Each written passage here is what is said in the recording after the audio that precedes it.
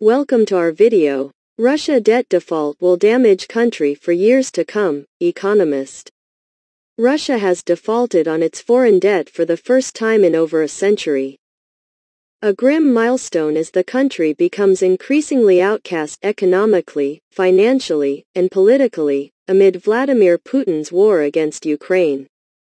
We would like to share the Newsweek report on June 27, 2022. Russia debt default will damage country for years to come, Economist. Russia has defaulted on its foreign debt for the first time in over a century, a grim milestone as the country becomes increasingly outcast economically, financially, and politically, amid Vladimir Putin's war against Ukraine. The country failed to meet a Sunday night deadline for a 30-day grace period on interest payments of $100 million on two Eurobonds that were initially due on May 27, Bloomberg reported. The Kremlin has repeatedly said it has the funds to make the $100 million payment, but harsh sanctions imposed by Western countries in response to Putin's war, which began in February, have made it impossible to do so. Two sources separately told the Reuters news agency that some Taiwanese holders of Russian bonds denominated in euros had not received interest payments on Monday.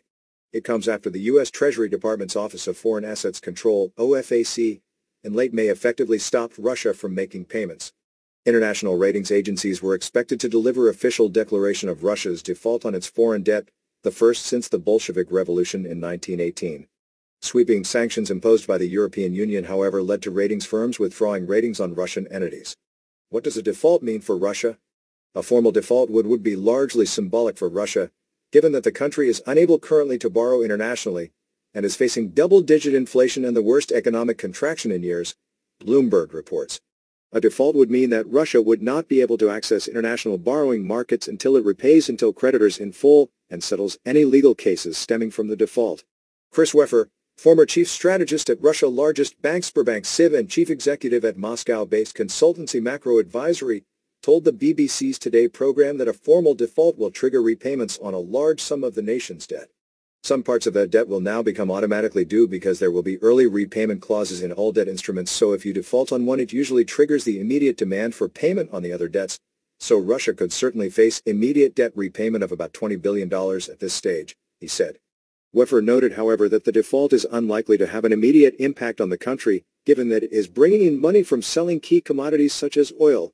The default could however create a legacy problem, could hang over the economy, and make recovery for Russia much more difficult in the long run.